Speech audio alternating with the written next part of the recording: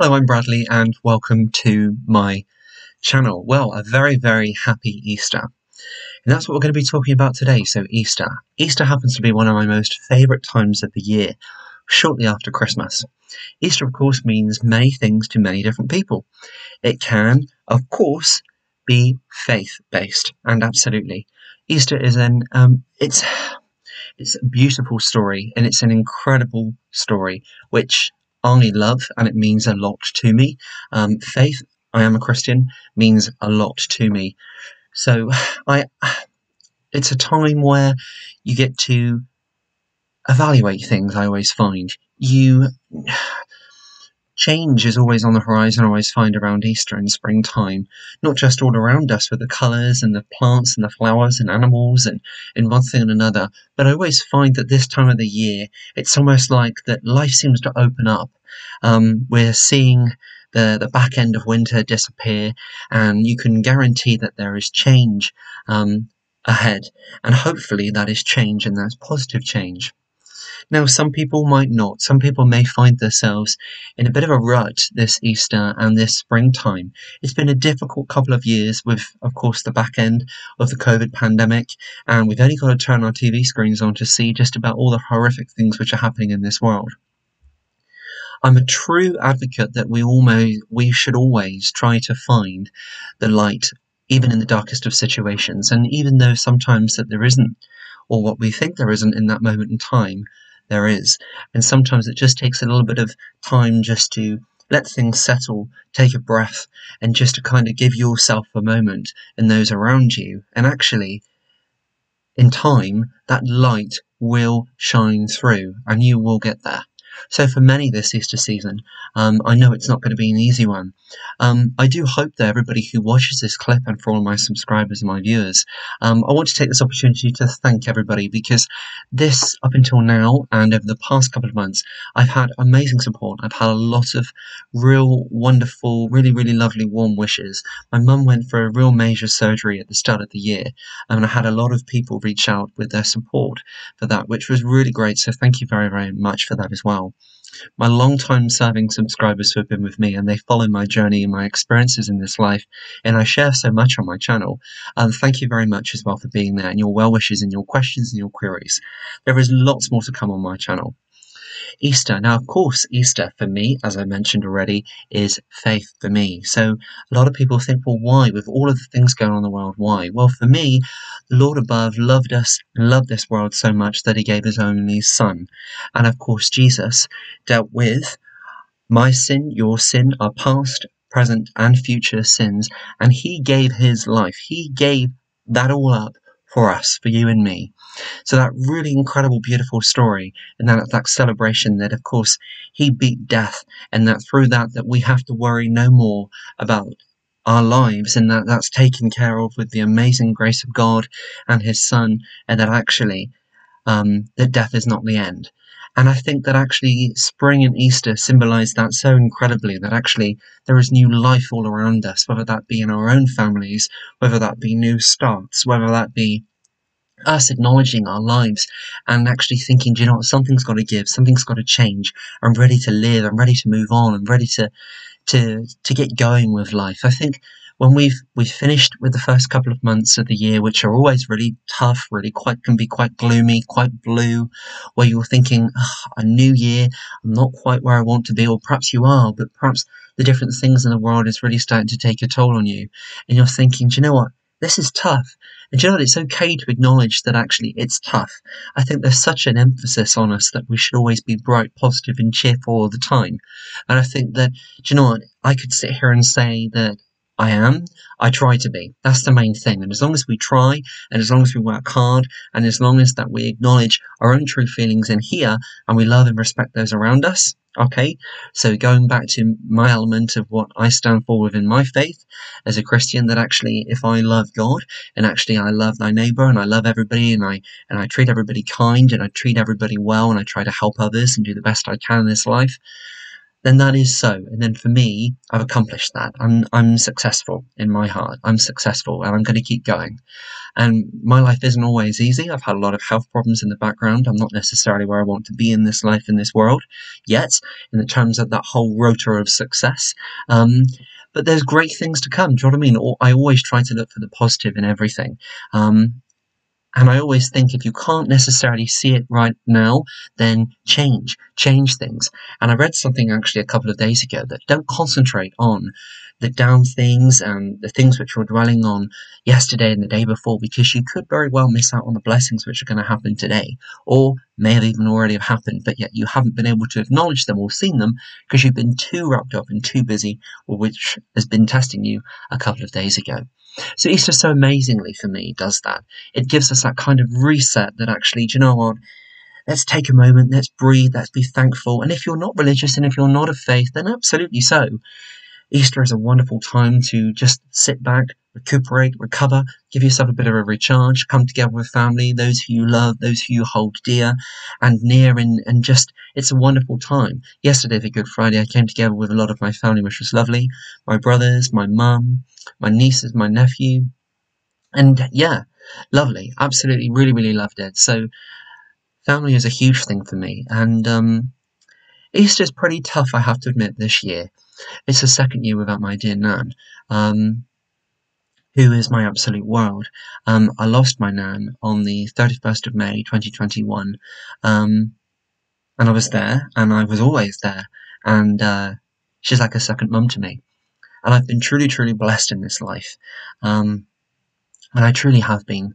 Um, from the bottom of my heart, I'm always truly thankful to the Lord above. I've been blessed with such an incredible family. So my mum is my absolute best friend. My father, exactly the same, my best friend.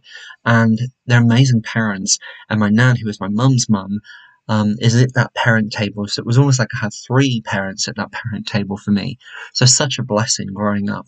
And I feel so privileged and so humbled to think that actually I get to call them for the whole of eternity my parents. And I love that. I really, truly do love that. Easter Sunday, Easter dinner, we do things very traditional in my family. Um, Nan was always there. Easter, Nan was always featured so heavily.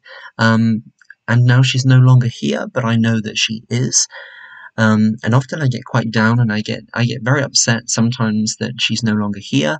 And then through my prayer, that helps me through. And I know that the Lord um, and His Son handled that. Jesus handled that. That we don't need to worry. We don't need to worry. He handled that, and He dealt with through His sacrifice of His life. That He dealt with our past, present, and future sins. He dealt with death. Death was no more. Um, and you know, even through all of that, I still sit here sometimes and I look at my nan's picture and I think to myself, I just wish we could have it all back again. Isn't it awful how greedy we can be, even when we've had so much of a good thing that we still want more? I lost my nan at the age of, uh, she was just turning 95. And I lost my nan at that age, and I feel so humbled and so privileged and so grateful that she got to that age. Um, and all those wonderful years and wonderful times I had with her and growing up with her. Um, but you know, it was far too soon. It was still far too soon. And Nan was, in my heart, she was, she may have been 95, but it was still far too soon. Um, so Easter, I'm, my heart's breaking. I have to admit this Easter, it really is for that. But it's, I'm I'm enjoying it. It's lovely, and I really hope that you get the opportunity to enjoy some, um, some whether it be family get-togethers, whether it just be some recuperating time, or whether it be if you're going to Easter service tomorrow, um, or what what you're doing. Then I hope you have a really really amazing Easter. Easter, of course, with children and things, it's absolutely lovely. So my nieces and nephews, I got to see my twin niece and nephew yesterday, which I love and adore, and I done them up like an Easter, almost like a parcel, um, a gift bag with sweets and Easter egg and money and one thing another. And, and I hope they really loved that. We had some fun and some laughter and some jokes and things yesterday. I get to see my little niece tomorrow, which I love and adore. That's my twin brother's daughter and um, we're doing an Easter egg hunt in the garden and everything, hopefully. And we're having some lovely weather. You know, Easter here in the UK we in the southwest we usually are blessed with really really good sunny weather. So that's really lovely over the easter period as well. And of course it's just nice isn't it to switch off from the outside world and just concentrate on those who you love the most in this world and come together with family and friends and and have yeah some really lovely things some lovely easter foods and perhaps a glass of wine and just switching off and laughter and and just having a great time. Easter of course means so many things. I know i've talked very heavily about my faith and and what easter means for me and um and yeah, but of course, Easter it doesn't for a lot of people. It won't have an element of faith, and you know that's absolutely okay. Um, of course, it's a great time to come together. It's a great time to be able to just switch off, enjoy those couple of days off where you can just re-energize and get yourself back up onto sort of full charged mode and go back into your life um, happy and, and, and, energized, ready for the rest of the year until we get the rest of the bank holidays and things coming up this year too.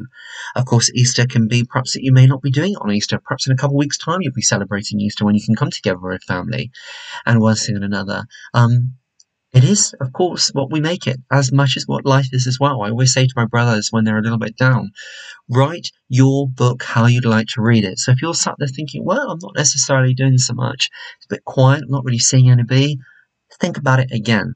You've worked hard, you're on your Easter break, you're going to have some time just for yourself, you're going to enjoy what you want to do, and if that means just relaxing, going for a walk, just enjoying the sunshine or picking up the phone, chatting to somebody who you haven't chatted to for a little while. Just enjoy the small moments, enjoy the small blessings in this life because those often truly mean the most. They truly, truly do. And they can be the most little incredible things which we remember all the time.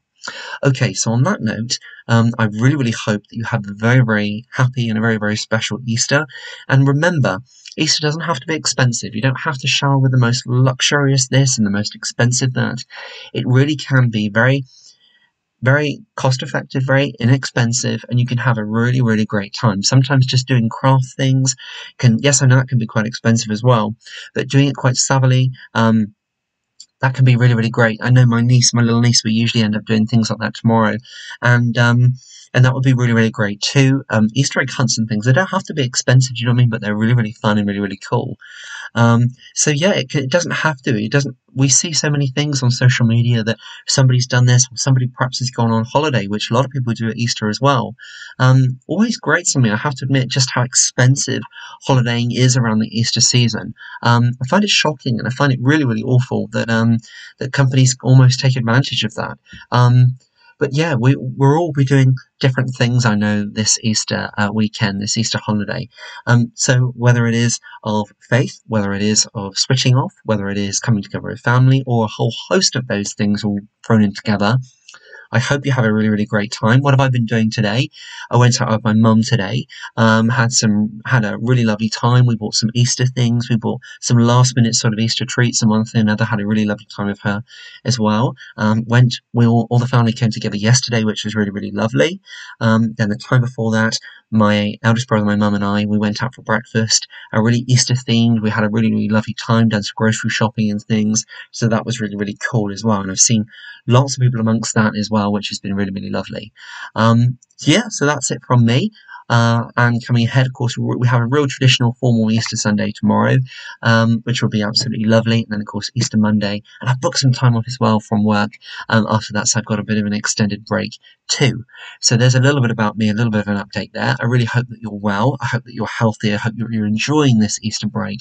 And I hope that all of my subscribers and everybody who views my channel, thank you very much for being here. And if it wasn't for you, I wouldn't have my sort of growing uh, sort of channel, which I absolutely love. And thank you from the bottom of my heart. It means so much to me. It means so much to me that you're sat there listening to this. So thank you very, very much. Easter blessings to you. A very, very happy Easter. God bless. Take great care. And until next time, I will be seeing you soon. Bye for now.